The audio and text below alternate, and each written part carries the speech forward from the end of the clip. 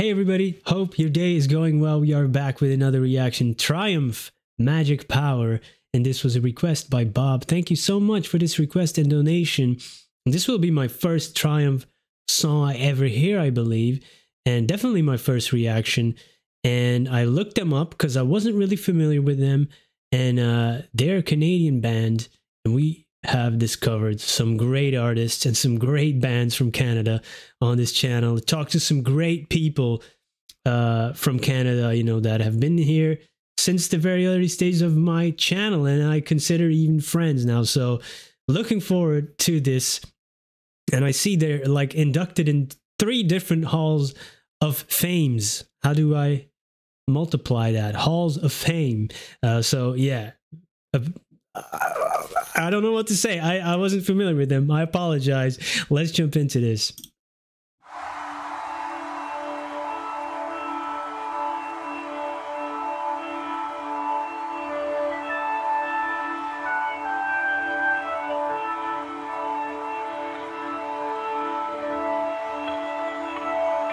Ooh.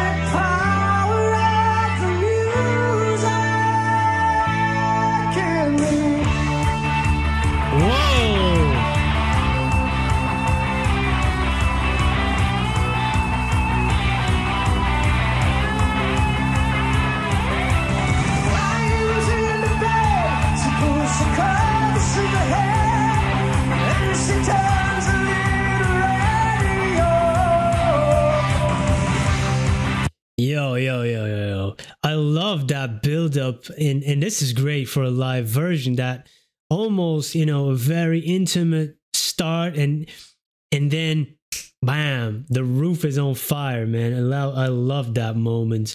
Uh, that's great, and maybe it's my mind making, uh, you know, this uh, association game uh, type uh, connections because of it's Canada, because it's a band, and the first thing he started singing, I was reminded of uh, Geddy Lee of Rush, and you know that's the limited knowledge I have right there.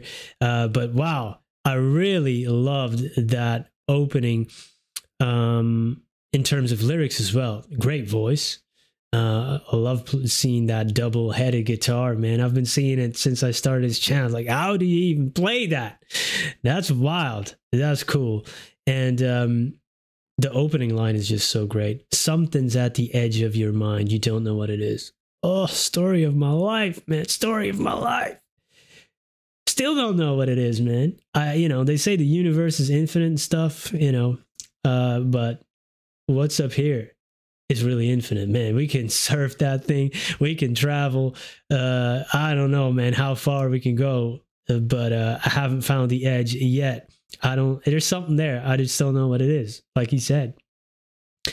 Uh, and I really like that reflective, introspective thing. Something you were hoping to find, you're not sure it is. You're looking for yourself. You uh, or, or identity or purpose or meaning and and you know sometimes while you're searching you're actually forgetting to live life and then you hear the music it all becomes crystal clear. Music can do that. It can snap us out of that thinking.